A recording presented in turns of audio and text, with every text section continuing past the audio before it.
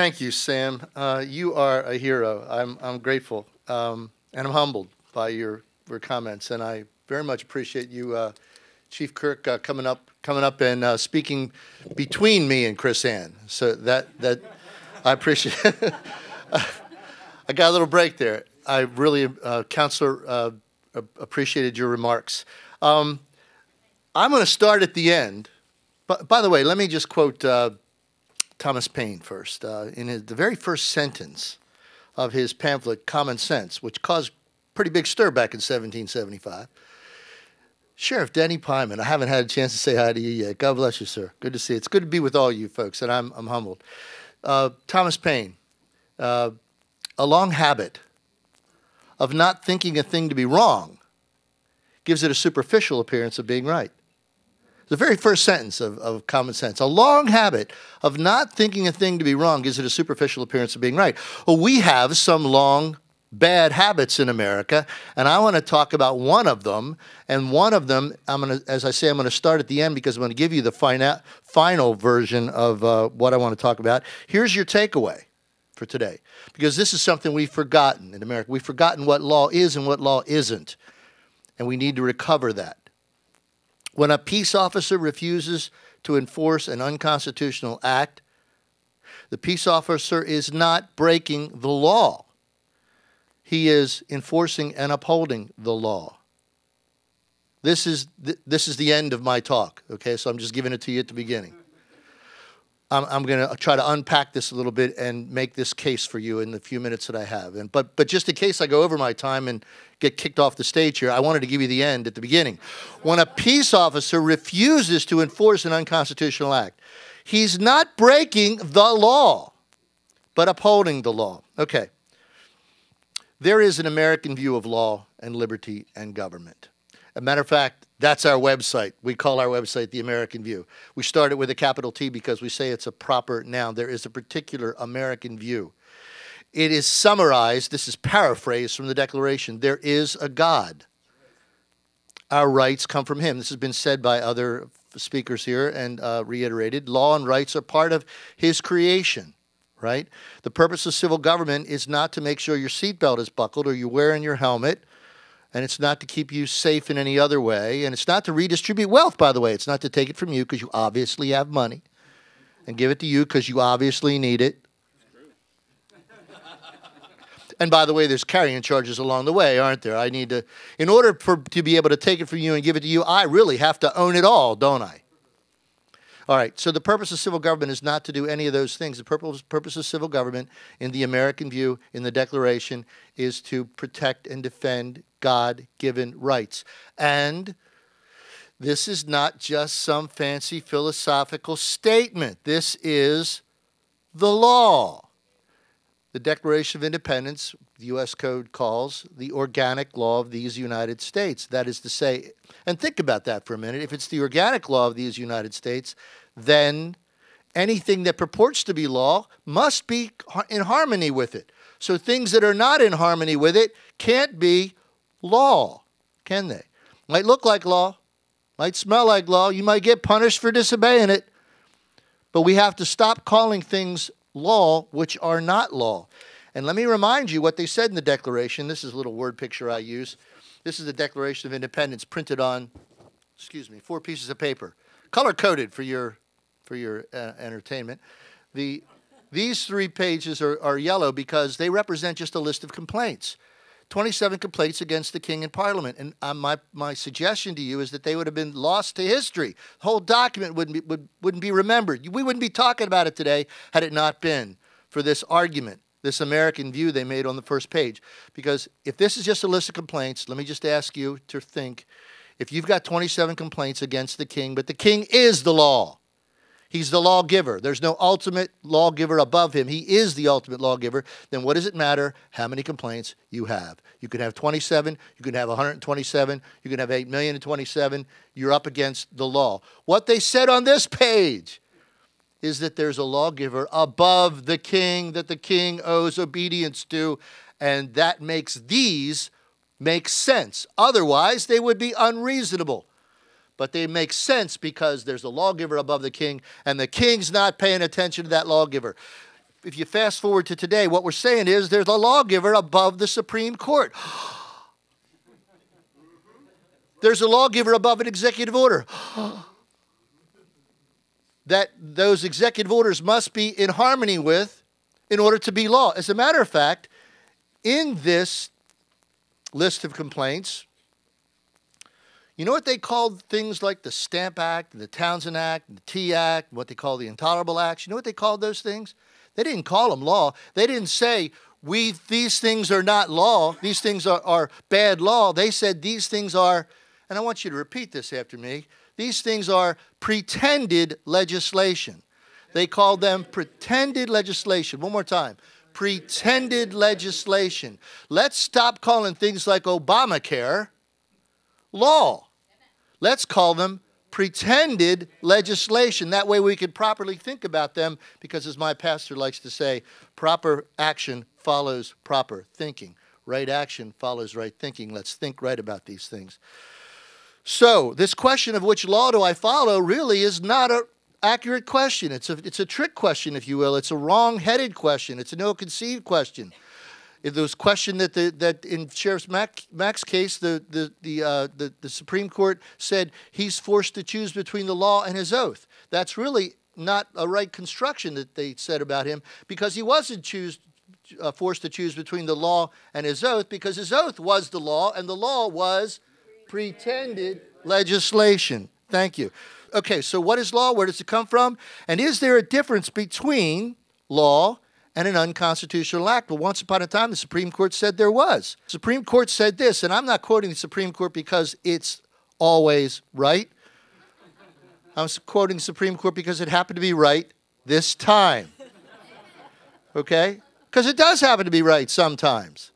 And it's in, in Norton v. Shelby County, the Supreme Court said this An unconstitutional act is not law. It confers no rights, it imposes no duties, it affords no protection, it creates no office, it is in legal contemplation as inoperative as though it had never been passed. Okay?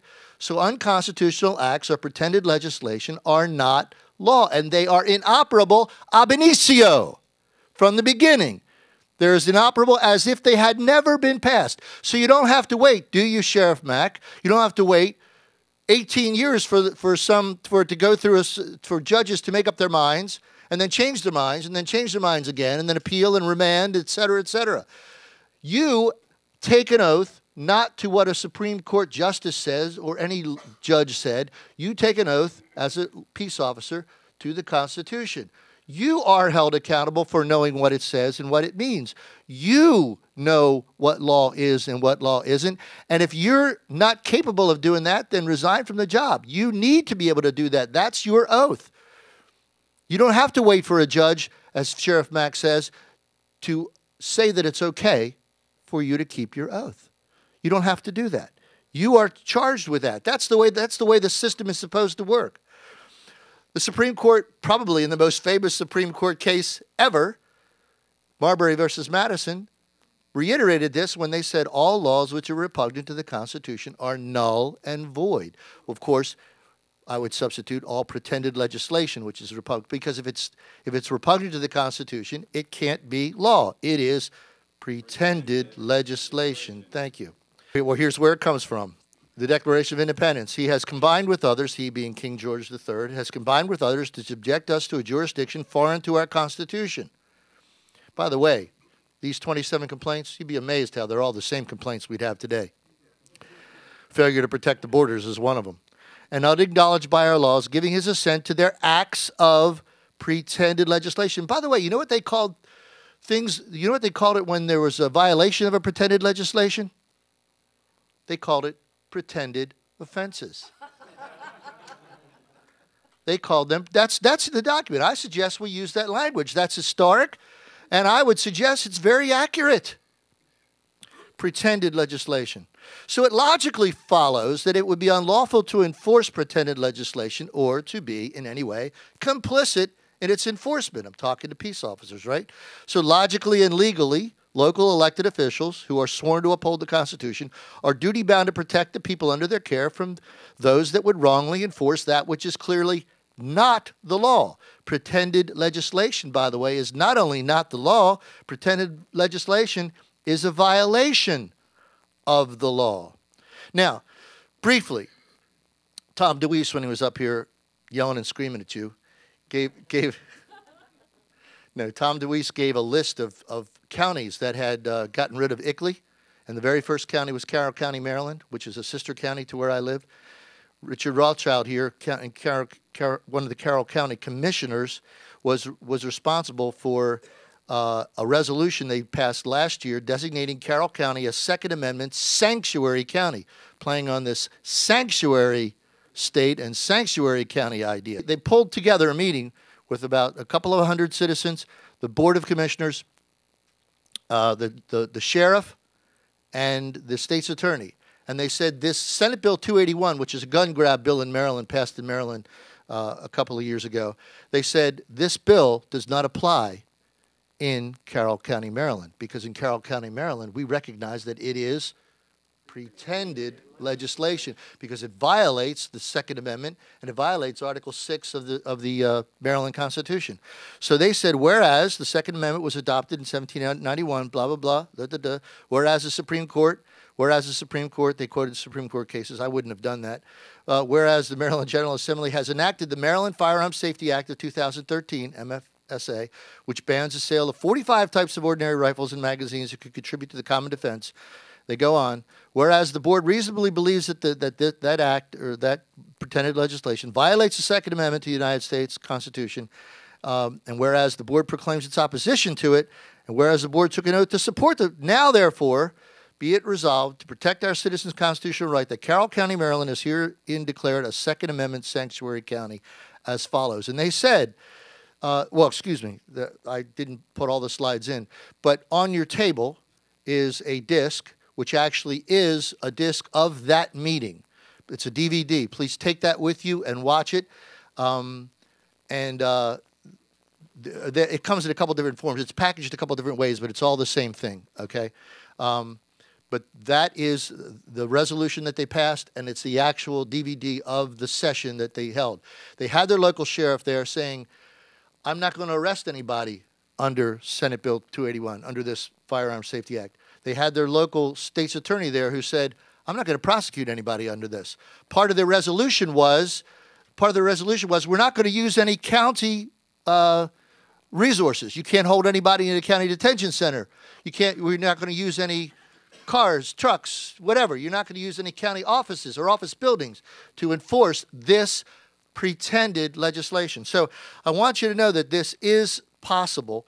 Um, let me tell you that um, IOTC, I lost the slide here, but Institute on the Constitution, as uh, Chief Kirk said, is dedicated to preparing courses of instruction that sheriffs and uh, police departments, peace officers, can use to educate their uh, their their officers and their sheriffs and their deputies so that they will understand what law is and what is not, those things which are law and those things which are pretended legislation, so that we can recover the American constitutional republic and so we can stop this long habit that we have of not thinking these things to be wrong when they are. Thank you very much. Uh, please take up. You also have you also have their uh, uh, my the PowerPoints, which you are uh, free to take with you. And I hope I didn't go over my time. God bless you. Thank you.